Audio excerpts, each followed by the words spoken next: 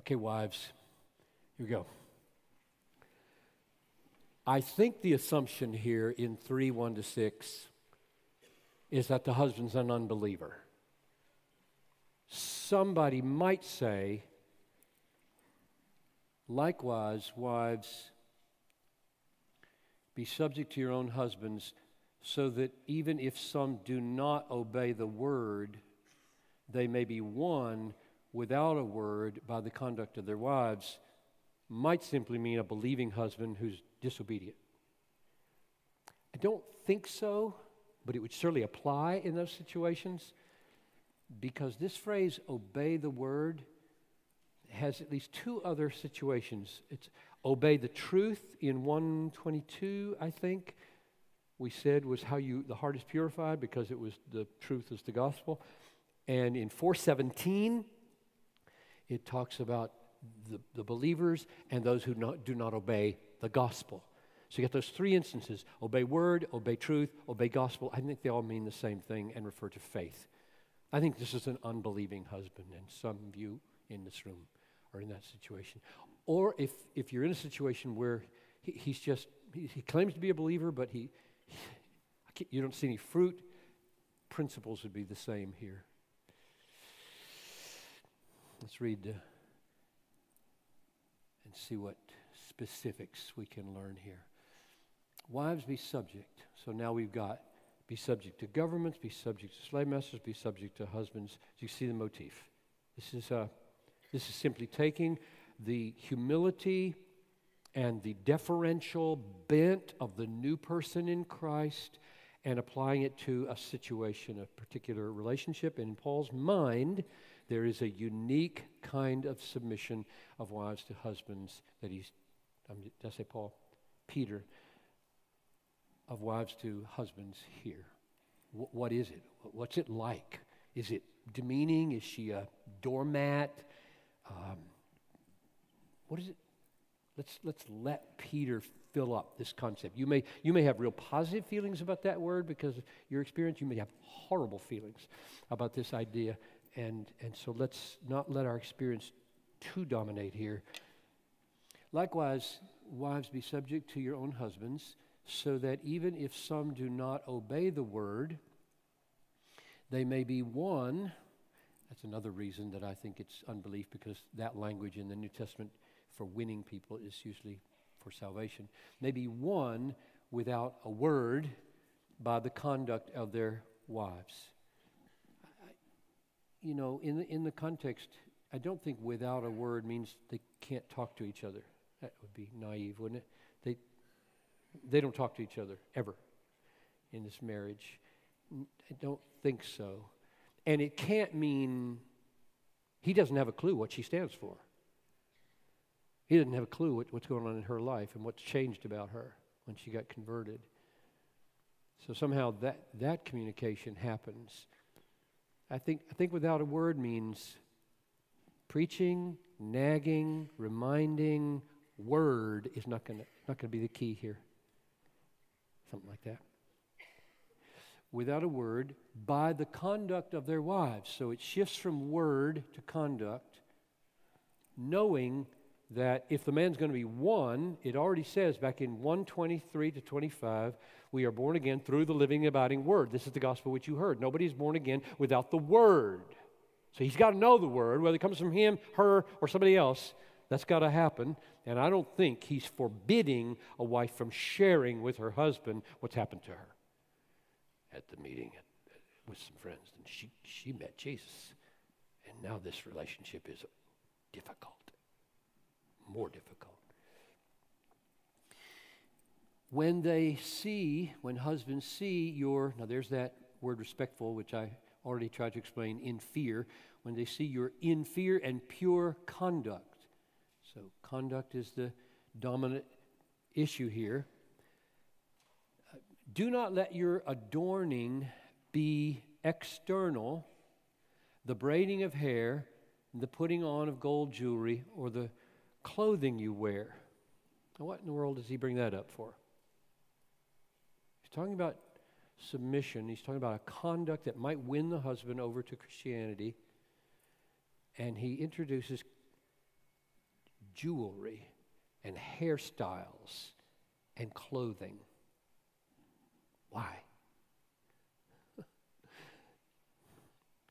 Here's my guess. You test it. My guess is that now, as well as then, some women might default to I could win him if I'm pretty enough. I could win him if I'm sexy enough. I could, I could win him if I, if I just if I if I've stood out from all the other women. Then he might he might want me more and, and want me more. He might want my faith more. And Peter says that won't work. He's just saying that that strategy will not save sinners. it won't. You he might like you. You know, might like that sexy dress. He might whatever, uh, whatever you may try to do. Um, that's not going to win him to what we're trying to do here. I think that might be what's going on here.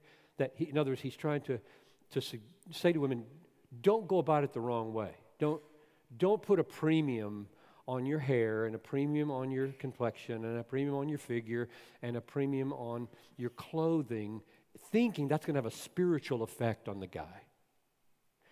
Now, don't go to the other extreme either, okay? This word right here, subject, would mean she does take into account his desires. I mean, she wants basically to please him. I mean, husbands and wives want to please. I'm going to get to the men in a minute. That's a big deal with the men. Live together with your wives according to knowledge is going to be a big deal. But, but uh, so, in other words, when I say don't worry about your hair, don't worry about your figure, don't worry about your clothes, I don't mean frumpy, you know. Just it, everything in its own place. And for the Christian woman, um, Madison Avenue and, and the TV ads and the standards of what women look like when they walk modeling aisles is not your standard. Christ is your standard, and that's where he's going to that's where he's to go.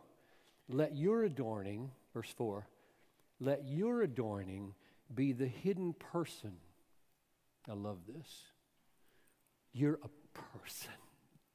You're not a body to be gawked at I was praying the other day. I, am a human. I'm a 69 year, 69 year old males are still males, okay?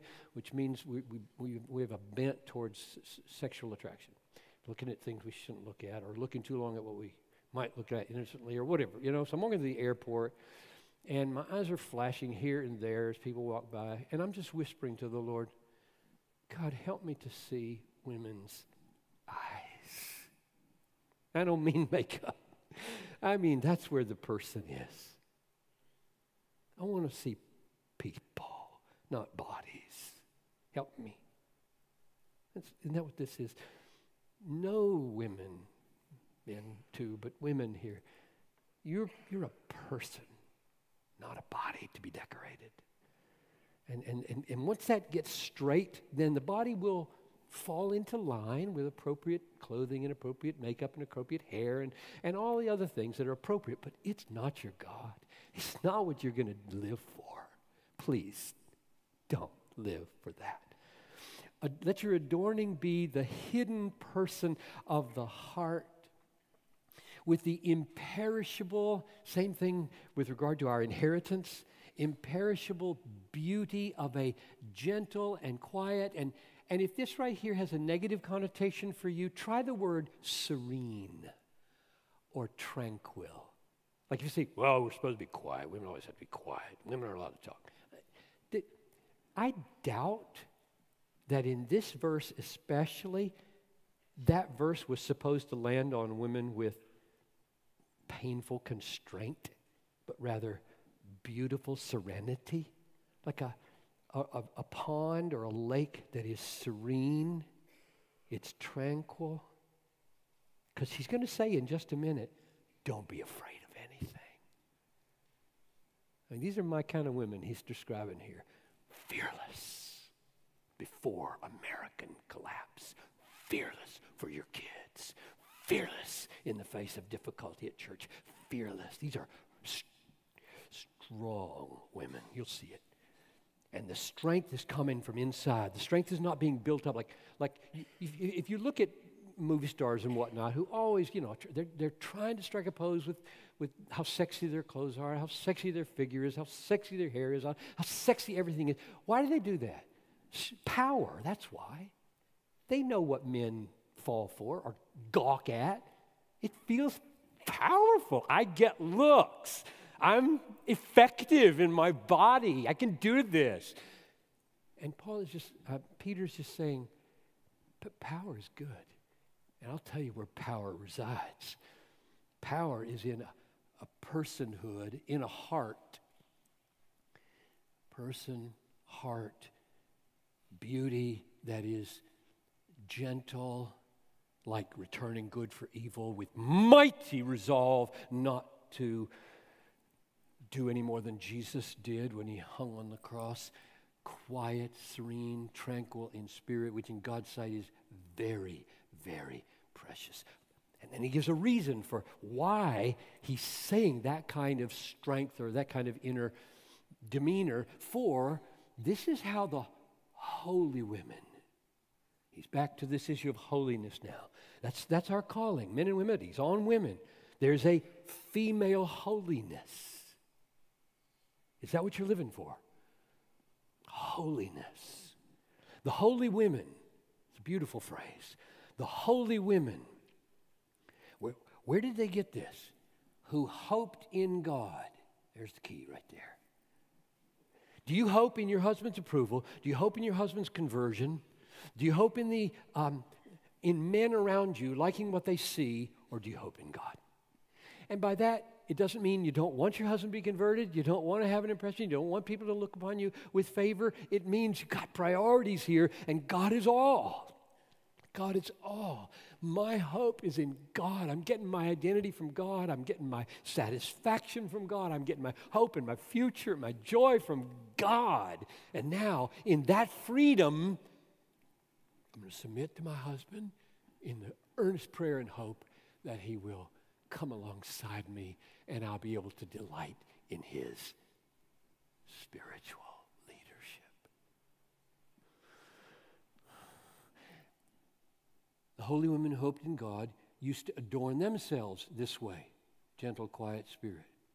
They adorn themselves by submitting to their own husbands, as Sarah, and he used this controversial word, obeyed, obeyed Abraham, calling him Lord. Now, let's, let me linger there with a minute, because there's something really interesting here. Sarah obeyed Abraham, comma, calling him Lord. Now, if I were writing this, and I wanted to illustrate for the women in Cappadocia and Pontus and Asia, Bithynia, what submission looked like in the life of Sarah. I talk about Egypt and Abimelech. You remember that story? We're going down there, and he sees she's pretty. Abraham's scared that he might get knocked off, so she could belong to the harem he says, Let's say you're my sister. What? Then they're going to take her. And she did it. Not a word. That's submission. Why didn't he use that? That's incontrovertible submission. She went along with that harebrained idea. he didn't use that. He, he says she called him Lord. It's like going back in the Old Testament. Where'd she do that?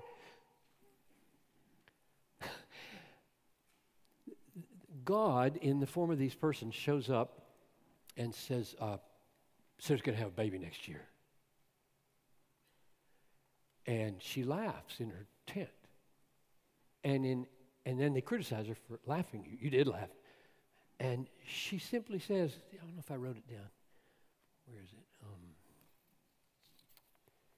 so, yeah, Genesis 18 12. So Sarah laughed to herself, saying, After I am worn out and my Lord is old, shall I have pleasure? That's the only place she calls him Lord in Genesis. What? Are you, Peter, why did you choose that? Sarah laughed to herself, saying, After I am worn out and my Lord is old, shall I have pleasure? It's like my Lord. Like my Lord this, my Lord that, my Lord that. It's like, I don't know why, but here's my guess. Okay? Understand, I'm not God here. But I'm guessing that he, he went back there looking for some kind of illustration that he wanted, and he picked this because it was precisely because it was not a big deal, but a default way of talking. In her default moments, she spoke of him with that kind of respect. Maybe. In other words, does do you as a wife have to work hard to think in terms of, okay, I want my husband to be the leader in this family, and I want to be a good partner and responder and supporter of that leadership, and, and that's, that's how I want to submit, and I got work at that, and it doesn't come naturally for me? Or is there a somebody's talking with you about your husband? Whether you use the word my lord, I mean, that probably in our culture would be a little weird. but you know, you know how you talk with other women, especially, either respectfully or not, of him. I had a big counseling issue recently where a husband said, I just looked on my wife's private Facebook. I mean, I'm, I'm, linked, I'm linked with her, and I saw a conversation show up where she was talking to another woman about me, and it was so, so demeaning. That shouldn't happen. Sarah, in her default behind the scenes moments, is speaking words that are respectful. Just a, just a little, it's just a little thing, little thing in Genesis 18. And I think it's brought out just to show how natural it was for women who hoped in God, were holy women. She obeyed Abraham, calling him Lord, and you are her children. Now it gets even better. You are her children if you do good. Same thing he's been saying all along good deeds, making Christian life beautiful. If you do good and do not fear anything that is frightening. So if, if any of you women ever feel like the call to be submissive to a husband is a position of weakness, you're missing the point. This is a fearless woman. And the need to be fearless when you have an unbelieving husband in that culture might be bigger than your need for fearlessness. Because I don't, I don't really know my culture well enough to know what his freedoms were, but men are, in their worst moments, mean creatures, cruel and abusive and, and um, scary to get married to one of those. So she's fearless. So she tries to win him without a word, keeps her conduct pure. I'm summarizing now from my notes here. She, she says, classy looks is not the way that's going to work. I want to please God with a tranquil and, and serene and quiet spirit. I want to hope in God, not hope in marriage, not hope in my husband's conversion, but hope in God. And out of that deep, confident hope in God as my, my shepherd and my Savior and my Lord. I'm going to submit to my husband, and, unless he asks me to sin, he's got that same qualifier to do with the government. And I'm going to load the good deeds into my life so he sees that I don't live for myself, and I'm going to be fearless in it all.